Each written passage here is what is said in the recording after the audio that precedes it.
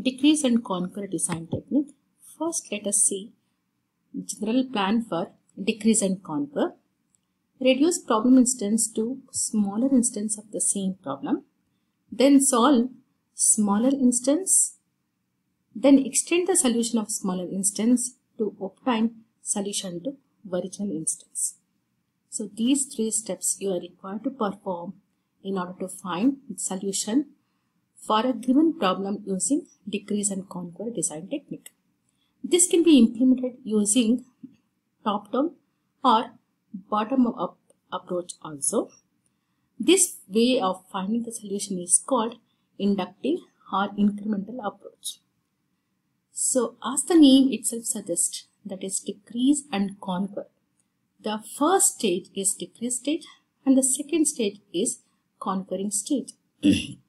In the decrease stage, the problem size is to be decreased. Second stage is conquering stage that is finding the solution. Conquer means find the solution to the original problem. This can be achieved by finding the solution to the smaller instance, then extend the solution of smaller instance to get the solution for original problem. Now we'll see how you can decrease the problem. Problem can be decreased by three ways. The first one is decrease by constant and the second one is decrease by constant factor. The next one is variable size decrease. so let me explain what is uh, decrease by constant here. You have given a problem of size n. Then reduce the problem to the smaller instance of size n minus 1. Find the solution to the subproblem. Then extend this solution to get the solution for the original problem. For example, let fn equal to a power n. So then how do you find a power n minus 1? So assume that already you know the solution for a power n minus 1. if you already know the solution for a power n minus 1, then you can find a power n is equal to a power n minus 1 into a. That's it. So if n is greater than 0. If n equal to 1, then a power 0 is equal to 1. So here the problem is decreased by 1. The problem size is decreased by 1. So if you know the solution, here already you know the solution for a power n minus 1, then with that you can find the solution for for the problem of size a power n.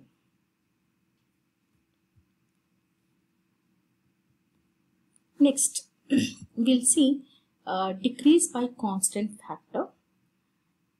Given a problem of size n, reduce the problem of size n by 2.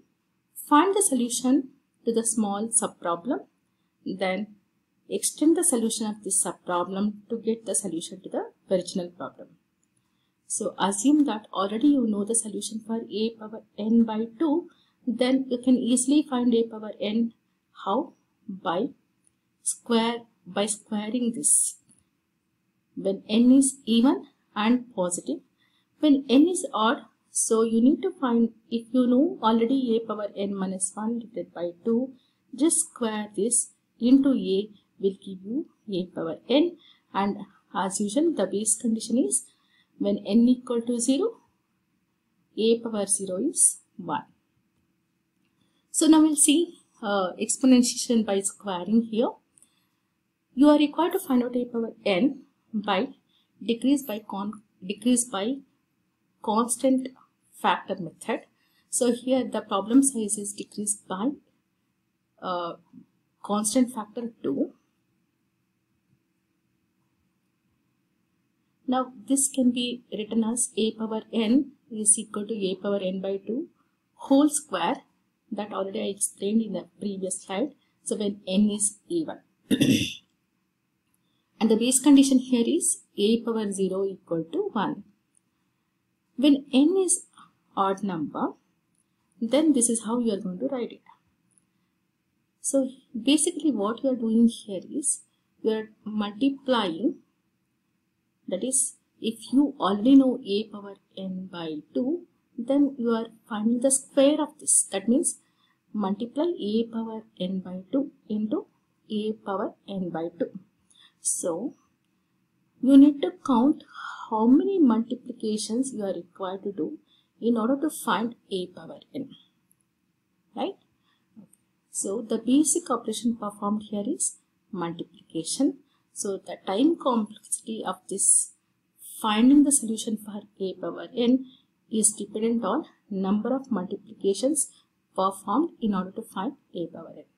So if you want to count how many multiplications is being performed to find a power n, then you need to know how many multiplications is being done when the problem is reduced to half plus fn that is if you want to find out solution for a power n you need to know a power n by 2 so here when n is even you are doing one multiplication.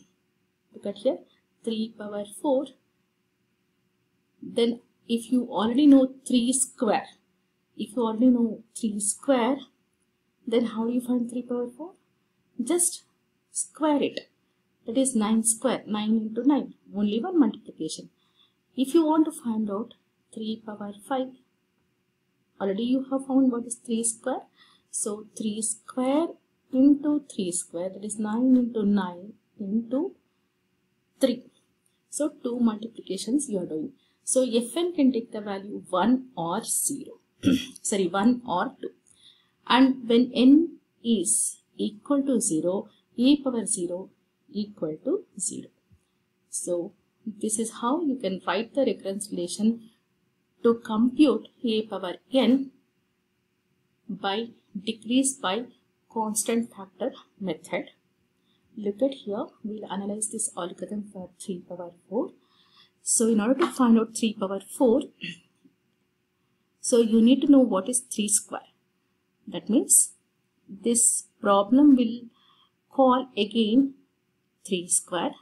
So in order to find out 3 square, it will multiply 3 into 3 that is 9 that is equal to 9.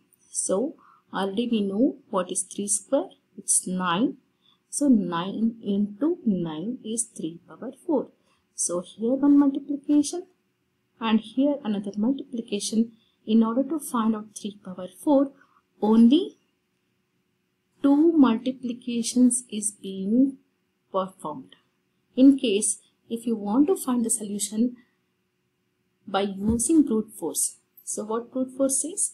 a power n is nothing but multiply a n times. So how many multiplications you are required to do? Here three multiplications you are required to do that is a that is 3 into 3 then into 3 into 3 so three multiplications you are required to do in brute force but in decrease by constant factor you are you can able to find the solution for 3 power 4 by multiplying this 9 into 9 that is one multiplication. In order to find out 9 that is 3 square one multiplication. Totally only two multiplications you are doing in order to find out 3 power 4 but in brute force it is 3 multiplication.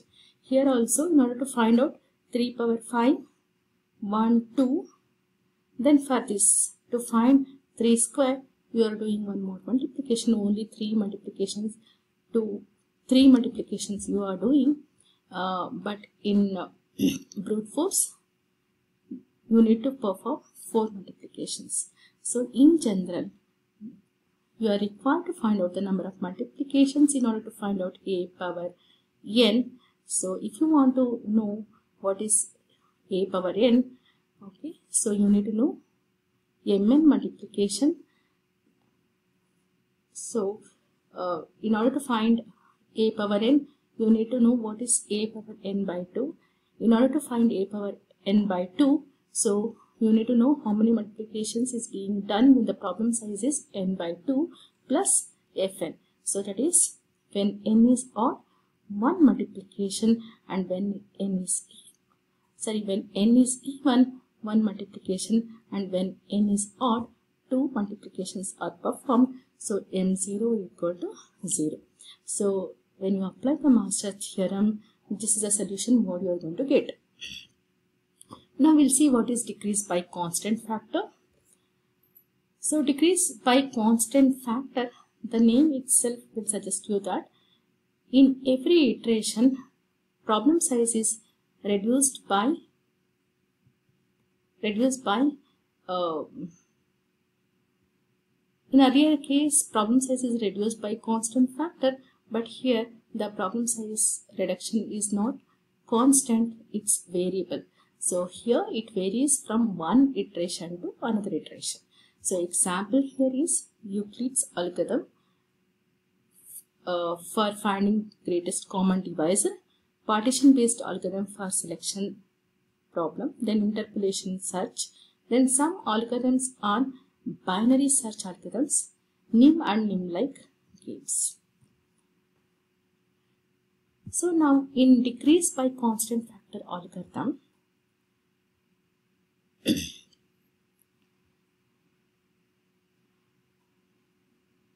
so binary search and the method of bisection then exponentiation by squaring Russian peasant method then fake coin puzzle Josephus problem. These are the example for decrease by constant factors factor. Uh, sorry. Uh, so I was discussing this variable size decrease here so in variable size decrease as I told you that the problem size uh, reduction varies from iteration to iteration for example to find uh, GCD of these two numbers 80 and 44 so first look at here the problem size is reduced like this and next iteration like this and here like this. So the problem reduction is obviously dependent on the second number. So let me summarize what we have discussed in decrease and conquer. As I told you that in, uh, in decrease and conquer there are two stages. The first stage is decrease the problem size and then conquer stage that is find the solution for the original problem. So this problem reduction can be done in three ways. The first way is decrease by a constant, decrease by a constant factor and the third method is variable size decrease. Decrease by a constant examples, examples are insertion sort, graph traversal algorithm, DFS and BFS topological sorting, then algorithms for generating combinatorial objects like permutations, subsets, etc. So, in this chapter, we are going to study these algorithms that is insertion sort, graph traversal algorithms, topological sorting and algorithms for generating combinatorial objects. So now, uh, so already you have learned what brute force is, divide and conquer technique and here I have just given you introduction what is decrease and conquer that is decrease by 1 especially when I say decrease by constant it is the problem size is decreased by 1 and decrease by constant factor here we are decreasing by factor 2 so when you apply these techniques to find uh, a power n okay i wanted you to find the difference like what will happen to complexity of the algorithm thank you